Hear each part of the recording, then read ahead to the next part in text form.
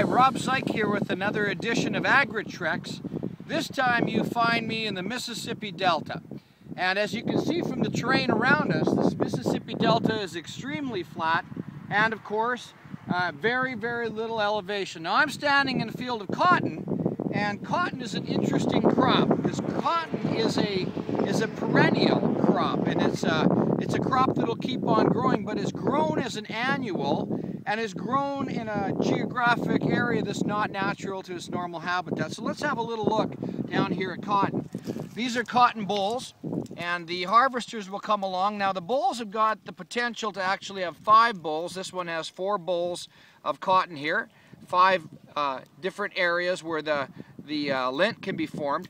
And it's basically plucked off here. And here you have the fibricity. This is the cotton that they're pulling off here. The uh, cotton can yield anywhere from four to, uh, sorry, from two to three uh, bales of cotton per acre. Three bales per acre of cotton is pretty cool. They are using uh, growth uh, growth management products, anti-gibberellins, to cause the uh, the cotton to make sure that it's not uh, uh, too vegetative, so they control the vegetative growth, turning it into reproductive mode. And then they'll use uh, a defoliant, basically an ethylene type of product, to cause the bolls to pop open so the cotton pickers can come through here and strip away the cotton and the seed. Then later on in the cotton gin, they'll separate the seed from the cotton. So that's the beginning of the cotton story here. And uh, it's a really interesting crop and and there you can see seed inside of the fiber just like that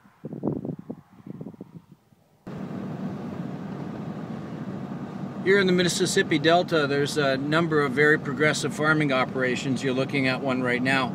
Um, the average acreage of the farms here are uh, well north of 2,500 acres, and as you can see as we're driving along here, it is just flat as a pancake. And Further to that, they're leveling the land to make it even flatter, but this is uh, all coming off the Mississippi. So if it, Mississippi were to flood, this thing just is all one big massive floodplain.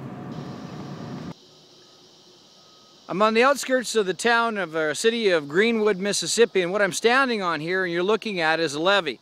And the levee is the one that surrounds the city. There's two levees, one in the county and the other one in the city. The city levees are manned by these pumps, and these pumps will work to uh, pump out the water if there's a breach inside of the city here. And uh, also it deals with excess rainfall because the rainfall is north of uh, 55 inches of rainfall a year. And so that pump will stick that uh, water out over side of the other side of that levee there. And uh, find that interesting. And that other part of the uh, there's another levee over there way on the other side of the county and this is the county levee and what you're seeing here is the city levee. And so if you drove your Chevy to the levee and the levee was dry, I guess that's probably a good thing. Many of the crops are sown down here in beds, and this is a Lister Bedder uh, made by Orthman, and this is set on 30 inch on rows or 30 inch on center. So this will basically cut and uh, hill up and create the hills that are necessary for you to plant into. A lot of the irrigation pivots are being replaced uh, with this kind of a surface uh, irrigation system and what they do here is they level off the land with landformers and they put in this uh, poly pipe. They fill the poly pipe up and then what they'll do is depending on the uh, distance away from the uh, pump they will put in and punch in uh, holes into the poly pipe. The diameter of the holes will determine how far and how fast the water runs down the field. So as they walk down the poly pipe, what they do is they have a program, a couple of them, one Delta program, one called PHAUCET, that'll tell the guys how big of a punch or a hole to punch into this poly uh, piping as it goes to irrigate the crop. So that is how they're doing it now. And uh, that is because the old pivots that they had in the system here simply weren't enough to take care of the water demands in the heat of the summer.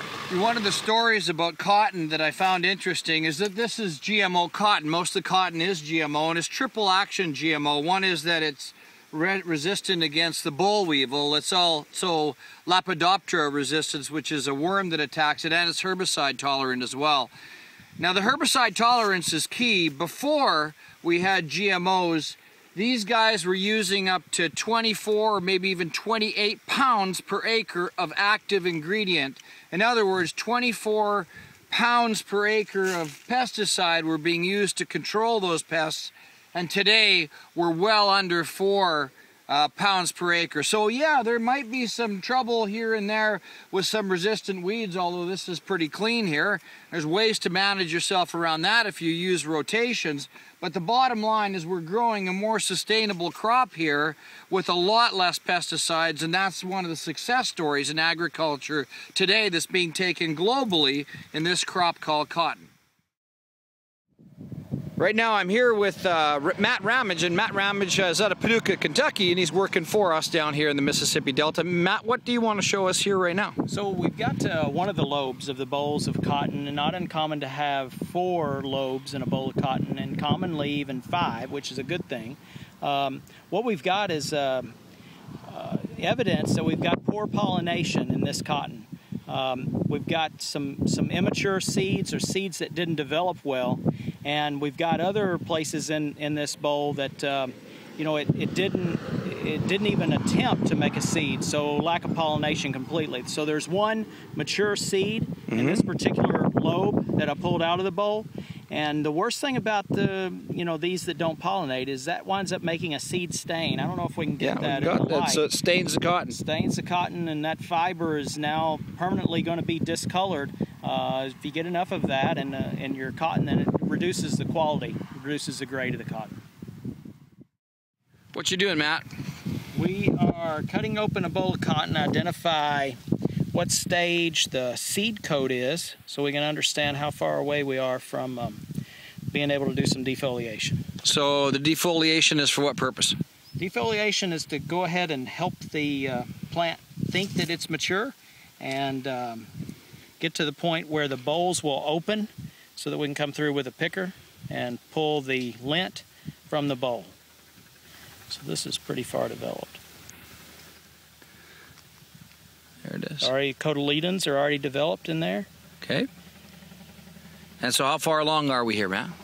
Um, we don't have a good hard seed coat yet. We've still got, we've got uh, good uh, attachment of the lint to the seed coat, but we don't have a good hard seed coat. We're still a good 10 days away.